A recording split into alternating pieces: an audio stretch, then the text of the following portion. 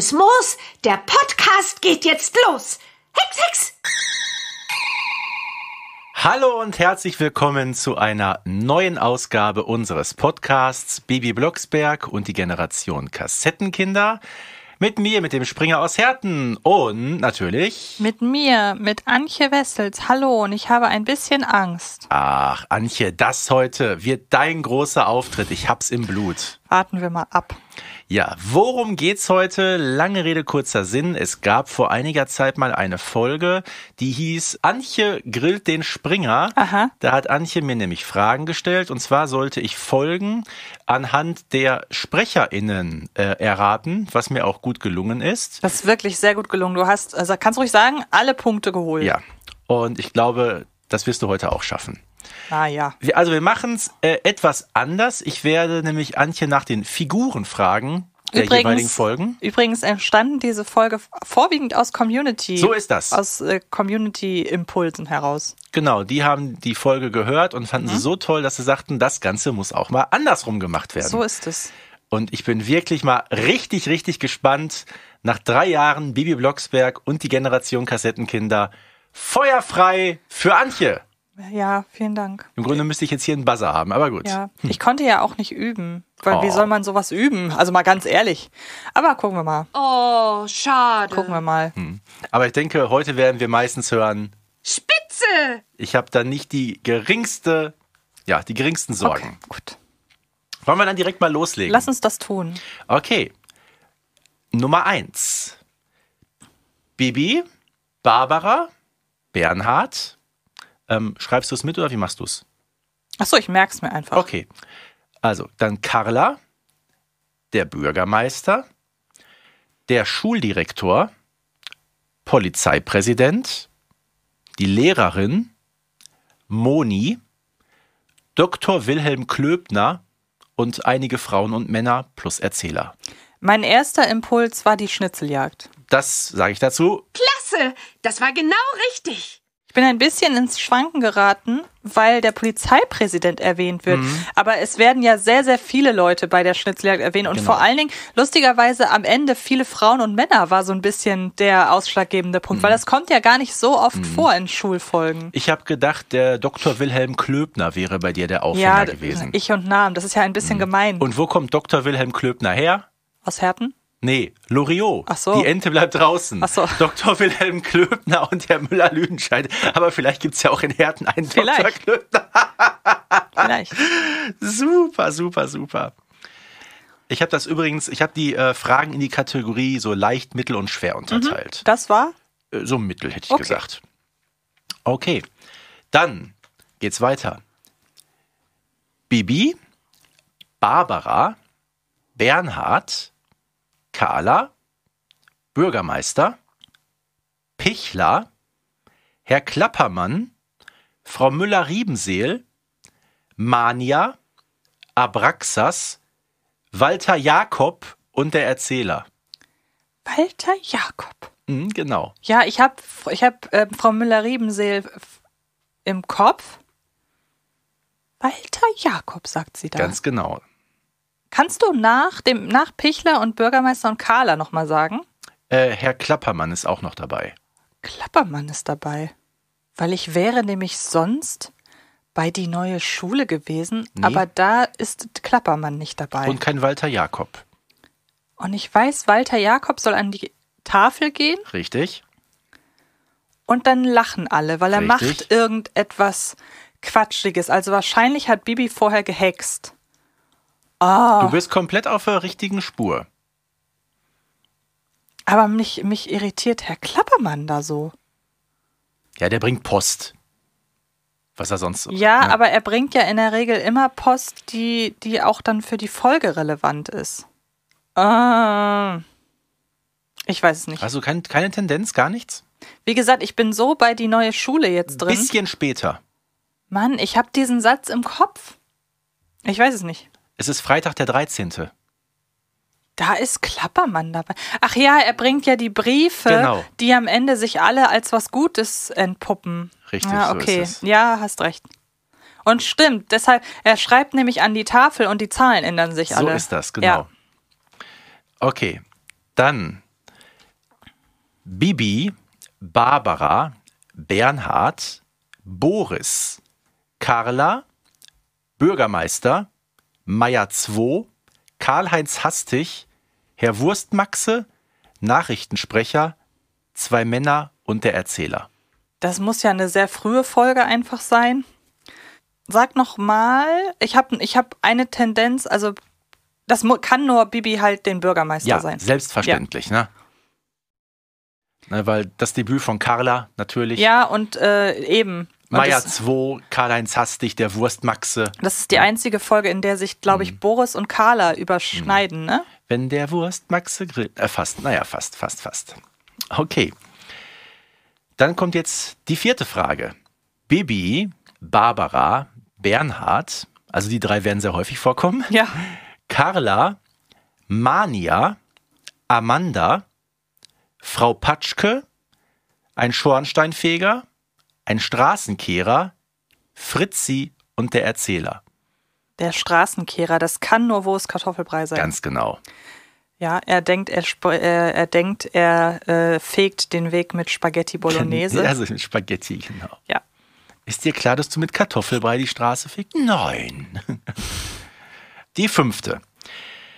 Bibi, Barbara Bernhard, Carla, Bürgermeister, Pichler, Eddie Edison und der Erzähler. Ohne Schubia. Ohne Schubia. Sonst wäre ich beim Wettfliegen gewesen. Mhm. Ah, wo überschneiden sich denn Eddie Edison? Nee, bei dem, bei dem Hexenbesen, bei der Besenflugprüfung fehlen, würden die Hexen fehlen. Genau. Oh, in welcher Folge spielt denn Eddie Edison noch mit? Ist das möglicherweise verhexte Weihnachten? Korrekt, so Ah, ist es. Sehr cool. Ja. Im Grunde ein kleines Ensemble plus Ja. halt eben Eddie Edison. Ja. So, und jetzt bin ich mal gespannt. Ähm, ich glaube, wenn ich dir das normale Ensemble vorlese, wäre es Mittel. Okay. Ich könnte dir noch, aber ich, ich lasse es erstmal so. Okay. Also, Nummer 6.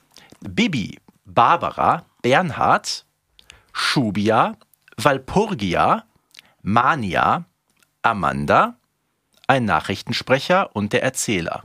Okay, sa äh, sag nochmal. ähm, unser Dreigestirn. Und dann Schubia, Walpurgia, Mania, Amanda, ein Nachrichtensprecher und der Erzähler. Ist das der Hexenfluch? Es ist der Hexenfluch, völlig richtig. Ich hätte nämlich jetzt auch noch Pipinella, Compottia, Anaconda, Zoldonia und Schweflia. Ich glaube, das hätte mich können, nur. Ja, okay. Die alle irgendwie einmal nur hier sagen. Bei mir war es tatsächlich der Nachrichtensprecher, Ah, der Nachrichtensprecher, okay. der ja, ähm, Ja. über die Wetterlage spricht. Also Der- das äh, ganz beiläufige Bemerkung, Nachrichtensprecher, die war es in diesem Fall. Okay. Ja, dann geht's weiter. Bibi, Barbara, Bernhard, Carla, Frau Müller-Riebenseel, Herr Klappermann, Marita, Florian und der Erzähler. Das muss jetzt aber der blaue Brief sein. Ja, aber sicher ist das der blaue Brief. Ein Klasse, das war genau richtig. Eine meiner meistgehörten Folgen überhaupt. Marita und Florian mit Basteln und Duschen. Oh Gott, ja. Es ist wirklich Sie legendär, machen gar oder? nicht Mathe. Sie machen gar nicht Mathe. Na, basteln und duschen. Wie kommt man da drauf? Oh. Kannst du dir vorstellen, wie Baby mit Flori unter der Dusche? Nee, Ah. lassen wir das bleiben. Allem, wer, wer kommt auf solche Konstruktionen? Ja. Gut, da Naja, das mit der- Marita halt. Das kommt kurz hinter der Eierpampe, aber gut. Okay, jetzt wird es etwas schwerer, kann ich schon mal sagen. Bibi, Barbara, Bernhard, Carla, Frau Müller-Riebenseel, Marita, Florian, also fast das gleiche wie gerade. Aber jetzt noch Mania und der Erzähler. Nochmal bitte. Ich habe eine, eine Ja, Tendenz. Bibi, Barbara Bernhard, Carla, Frau Müller-Riebenseel, Marita, Florian, Mania und der Erzähler. Der Bürgermeister war jetzt nicht dabei, Der ne? Bürgermeister ist nicht dabei. Okay, aber es ist eine Folge, in der sich Carla und Mania begegnen. Korrekt. Das ist relativ wichtig, glaube ich. Weil meine erste Tendenz war der Schulgarten tatsächlich. nee, der ist es nicht. Ähm, weil da Carla und Manja auch zusammentreffen. Florian und Marita sind auch dabei. Carla und Manja. Okay, ich bin jetzt nicht sicher, weil ich daran, weil ich gerade nicht ganz sicher bin, ob Carla dabei ist. Aber ich könnte mir vorstellen, dass es Bibi braucht Hilfe ist. Nee, ist es nicht. Okay, dann war da, war, da ist Carla nicht dabei wahrscheinlich, oder? Nee, da ist auch bei Bibi braucht Hilfe. Genau, es ist ja die allererste Folge mit den neuen Eltern. Da sind noch die alten Eltern. Okay. Das ist eine Okay. Folge, über die wir gestern gesprochen haben. Klammer auf, wir haben gestern auch schon aufgenommen, Klammer zu. Ist es das Dino-Ei? Ja. Ah, okay. Ja, es ist das Dino-Ei. Gut, gibt einen halben Punkt zumindest. Ja, also 1, 2, 3, 4, 5, 6, 7, 8 hatten wir jetzt schon. Okay, von insgesamt? Ich habe ich hab insgesamt, glaube ich, 25. Oh Gott, Ja, okay. mal gucken, wir haben noch ein bisschen was vor uns. Ach, jetzt wird's lustig. Bibi, Barbara, Bernhard, Oma Grete, Erzähler. Das dürfte Bibi äh, zieht aus sein. Genau, neben der Folge mit dem Geisterkater, die mit dem allerkürzesten Ja. SprecherInnen-Ensemble. Bleibt ja auch tatsächlich in, äh, im Blocksberghaus und Ja. fast wie so ein Kammerspiel in dieser Ja, Folge. genau. Ne? Okay, dann äh, kommt jetzt Bibi, Barbara, Bernhard, Walpurgia, Malizia, Curiosus, Runzia und der Erzähler.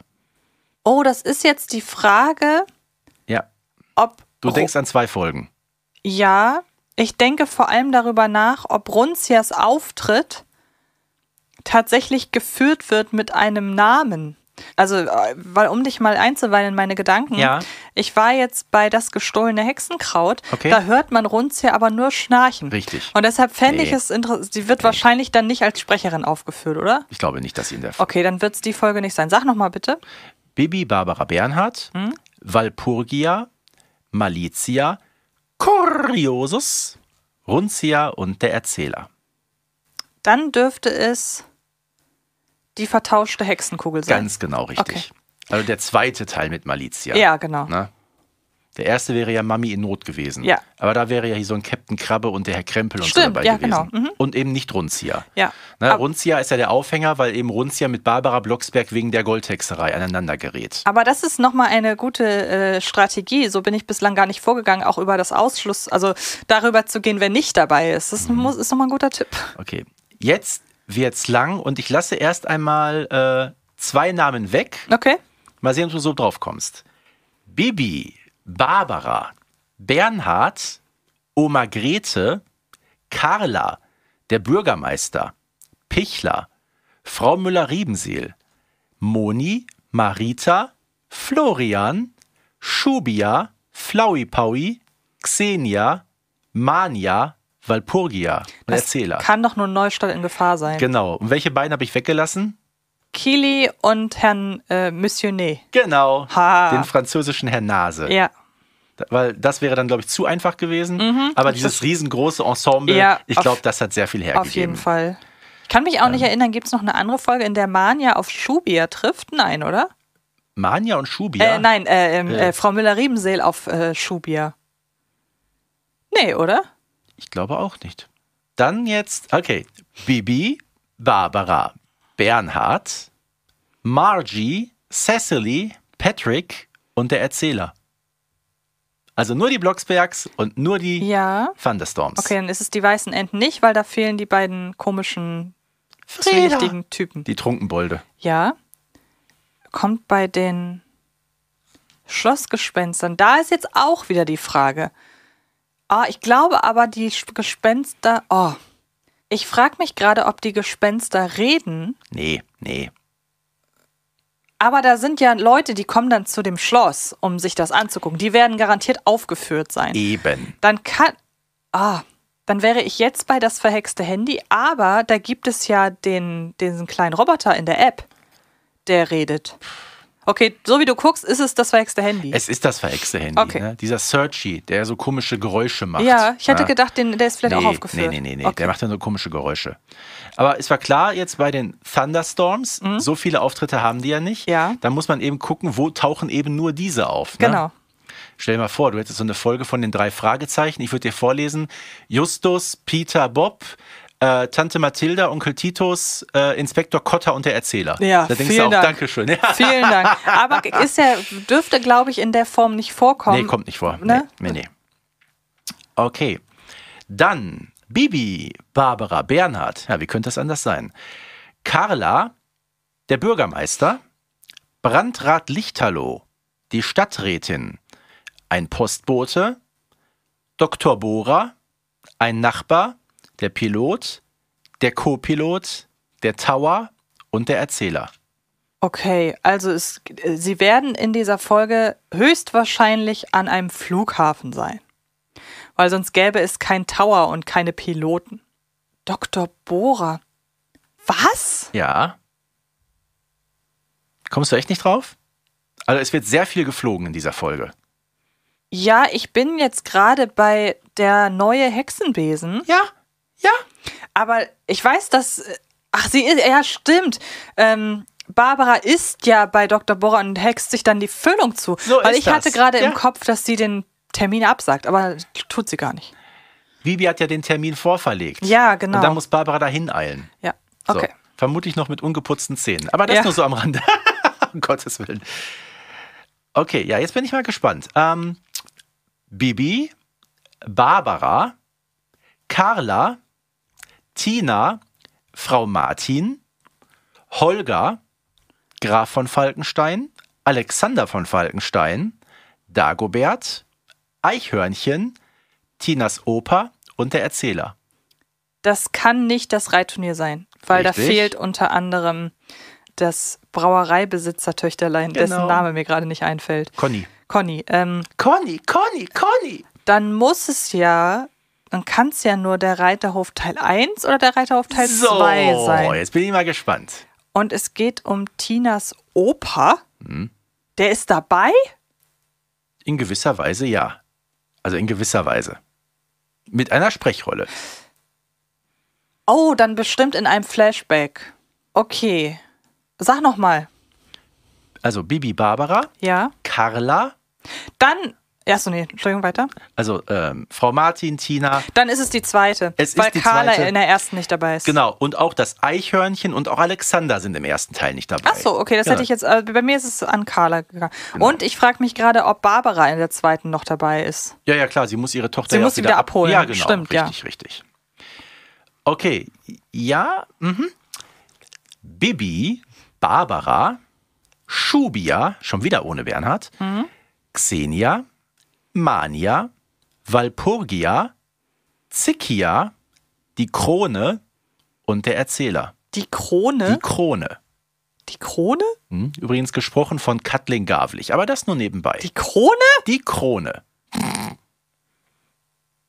Okay, ich sag jetzt einfach mal diese Folge, weil ich sie nur einmal gehört habe und ich mir da vorstellen könnte, dass da eine Krone, die spricht, drin vorkommt. Ist es alles voll verhext? Äh, nee, der Titel ist ähnlich. Äh, Ist es, also bin ich nur mit dem Folgentitel falsch? Oder Äh, du bist auch mit der Folge falsch. So, aber, aber okay. der Folgentitel klingt ähnlich. gibt es die Folge alles voll verhext? Ja, oder? Ja, klar. Gut.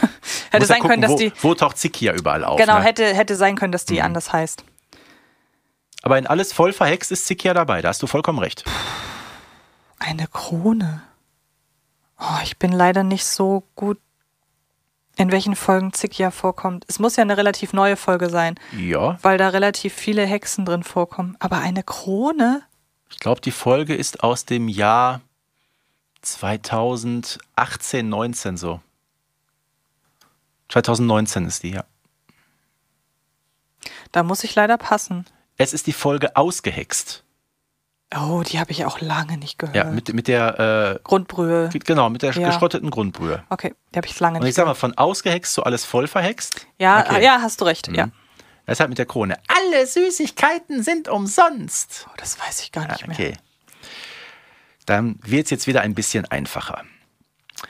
Bibi, Barbara, Bernhard, Elfriede, Hugo, Carlo, der Polizeipräsident, zwei Polizisten, von denen einer Hans Herbert heißt, ein Radiosprecher, mehrere Passanten, der Erzähler.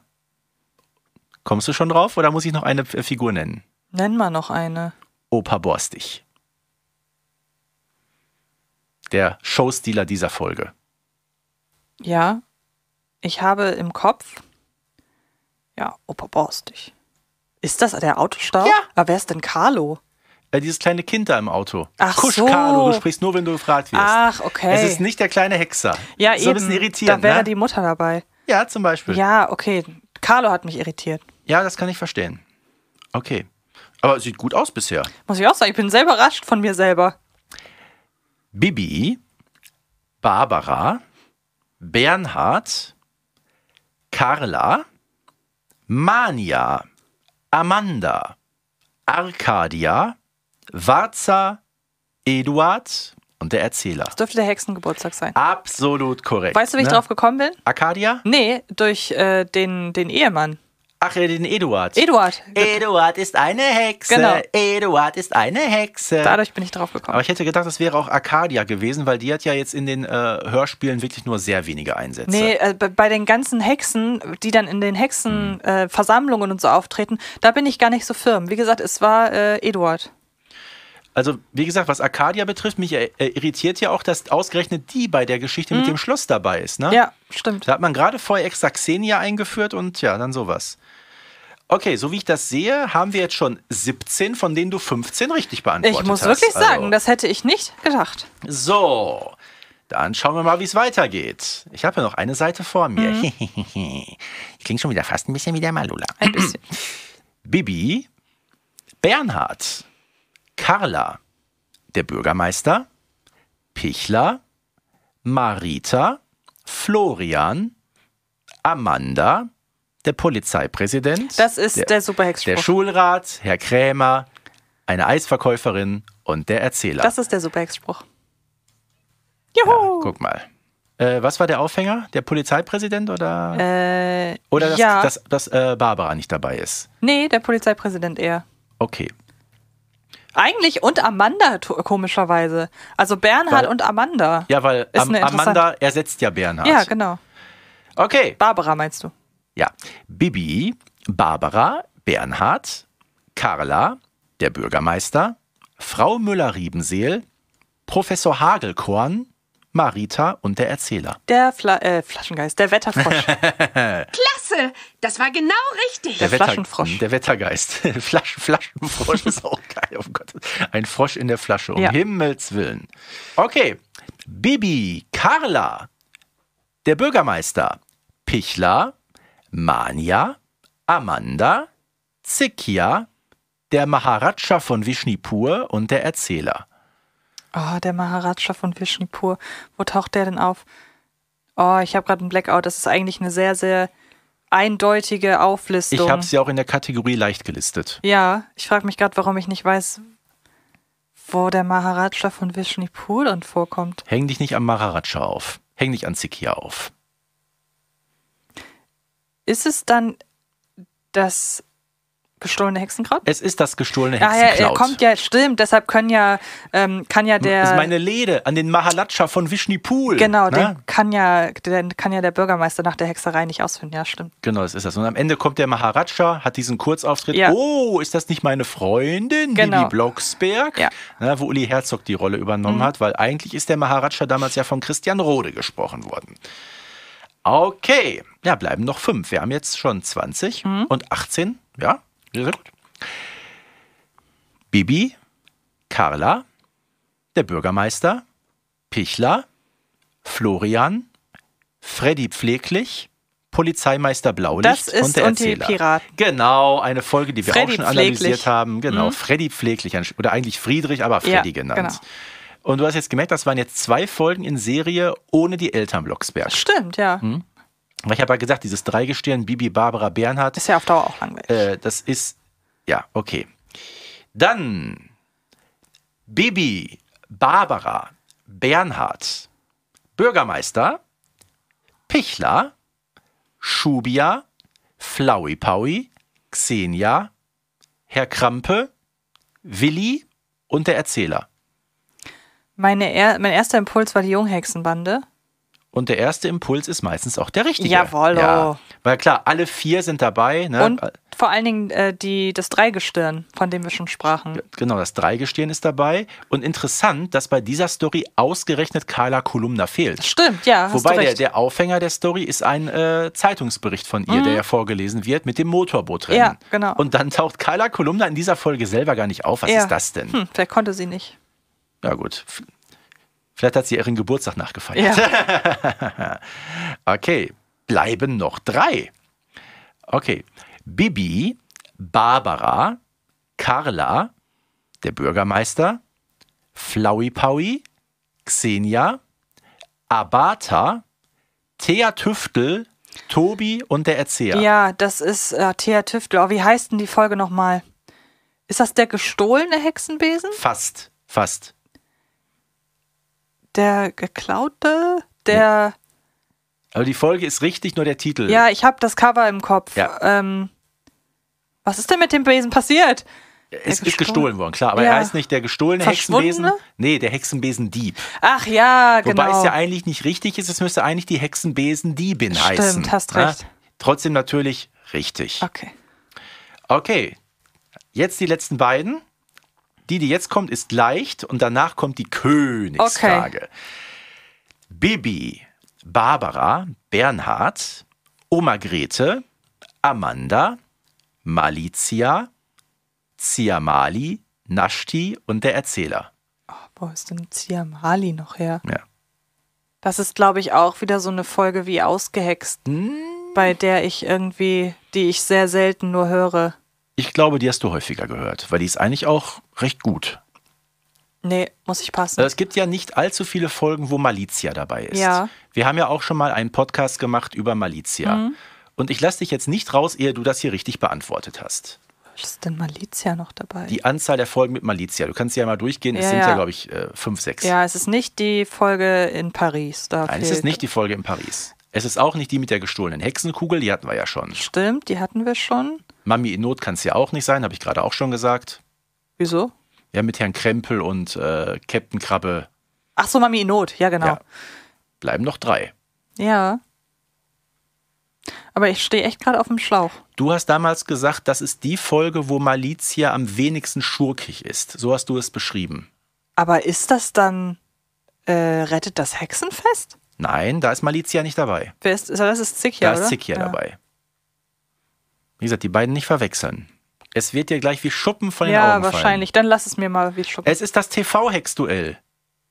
ah, ja, Ziamali, Malizia. Genau, wo die in der Game Stimmt. Show sind. Hast recht. Wo es um das Hexenbuch Ja. geht, was dann gewonnen wird. Du hast recht, ja. Ah, Okay. Gut. Und jetzt kommt die Königsfrage. Jetzt bin ich sehr gespannt. Ich habe ein bisschen Angst. Ich sage ganz ehrlich, da könnte ich mir vorstellen, da hätte sogar ich Probleme. okay. Also, ich habe sie mal äh, äh, als ultraschwer äh, Schrägstrich Bonusfrage deklariert. Bibi, Barbara, Bernhard, Carla, Bürgermeister, Pichler, Marita, Erzähler. Also überhaupt keine seltene Nebenfi- Nebenfigur. Marita ist dabei. Marita ist dabei. Gut, es ist auf jeden Fall nicht der verhexte Bürgermeister. Das, Das war meine korrekt. Mhm. ersten, das war mein erster Gedanke. Da wären ja noch andere dabei, genau. Genau. Es ist auch nicht Carla gibt nicht auf, weil da fehlt Herr Schmeichler. So ist das. Es ist definitiv eine Folge, die wir, wir beide sehr mögen. Kannst du mir grob eingrenzen, in welchem Jahr? Also eher vor oder nach 2000? Vor. Vor 2000. Ja. Okay. Also immer noch, also alle mit dem alten Sprecherensemble. Okay, das ist schon mal nicht so so unwichtig. Marita, das muss ja also nach der Folge vom Sportfest sein, weil erst, Definitiv, ja. weil erst ab dann hat ist ja Marita auch Richtig. Und im Grunde nach der Folge mit der Prinzessin, weil da erst Pichler auftaucht. Ah, okay, soweit soweit Ja. wäre ich jetzt gar nicht, soweit wäre ich jetzt gar nicht gegangen. Was könnten, dann müssen sich ja wahrscheinlich Carla und der Bürgermeister wieder gestritten haben. Ah, warte mal. Ja, mhm. Warte mal. Kommt da, jetzt muss ich gerade überlegen, kommt da noch jemand anderes vor? Ist es Mamis Geburtstag? Es ist Mamis Geburtstag! Klasse, das war genau richtig. Weil die Folge hat, macht eigentlich so den Anschein, als müssten da mehr Leute bei sein. Total. Ne? Ja. Und ich war selber erstaunt beim Reingucken, dass das Ensemble mit 1, 2, Sehr 3, übersichtlich ist. 4, 5, 6, 7, 8 Stimmen inklusive Erzähler, wie du sagtest, wirklich sehr überschaubar. Und das gibt noch einen dicken, das gibt fast einen doppelten, wenn du so möchtest. Juhu. Also du hast von äh, 25 hast du 22 richtig Das ist beantwortet. wesentlich besser, als ich dachte. Ich hatte Ja. nämlich, muss ich ehrlich zugeben, im Vorfeld schon überlegt, Mhm. ob wir als Ersatz eine andere Folge planen, falls ich mich komplett, äh, falls ich komplett lo- ablose. Nee, aber hat doch alles wunderbar funktioniert. Sehr schön. Da bin ich glücklich. So. Und wie gesagt, auch das jetzt gerade mit Mamis Geburtstag, wenn du wirklich keine markante Nebenfigur hast. Ja. Weil ich habe drauf geachtet, hm, was könnte zum Beispiel zu einfach werden, wenn zum Beispiel, ich sag mal, äh, Gerda oder Norbert Seifert. Ja. Da wäre klar, es ist Bibis neue Klar, Freundin. ja. Mhm. Oder irgendwie Heimleiter Buchholz. Klar, das ist dann äh, der, Der Schulausflug. Schulausflug. Tante Paula ist der verhexte Sonntag. Ja. Mhm. Ja. Oder halt Frieda, ne? Das ist dann hier. wack, wack, wack, wack, wack. Stimmt. Oder äh, Mimi Witchy, ohne Mami geht es nicht. Alles relativ so. Da habe ich so ein bisschen drauf geachtet, weil das wäre dann vielleicht doch ein bisschen zu einfach War eine gewesen. gute, war auf jeden Fall eine gute Mischung. Und mir kam auch zugute, also ausgehext und oder auch zum Beispiel sowas wie Freunde in Gefahr und so. Das sind so Folgen, die Mhm. höre ich nicht oft und ähm, deshalb, äh, ja, die waren schon gute Folgen dabei. Okay. Wobei ich dachte bei Ausgerex mit der Krone eben, dass du darauf kommst, Oh, weil nee. das eben so dieses Markante Ja. ist. Muss ich nochmal hören. Hm? Alle Süßigkeiten sind umsonst. Juhu, ich Ja. freue mich. Wunderbar. Guck mal, Antje ist zufrieden. Ja, da hast du gut gemacht. Du, ich sag mal, wenn du von 25, Dankeschön, du hast es noch besser gemacht. Haha. Ich sag mal, 22 von 25, das ist, ich sag mal, eine 2 plus. Ja, muss ich auch sagen. Ja, so. schön. Damit gehe ich doch gerne aus diesem Produktionsblock raus. Ja, wie gesagt, das war ein kompletter Produktionsblock. Mhm. Das war jetzt wieder mal die siebte Folge, die wir in den zwei Tagen aufgenommen haben. Ja, Und Antje wird gleich wieder nach Hamburg fahren, du nach Herten. ich nach Herten und morgen geht der Alltag von vorne los. Genau. Vielen, vielen Dank fürs Zuhören. Ich hoffe, ihr hattet auch ein bisschen Spaß beim Mitraten. Bestimmt. Und dann bis demnächst. Tschüss. Bibi Blocksberg und die Generation Kassettenkinder ist eine Produktion von 4000 Hertz für Kiddings.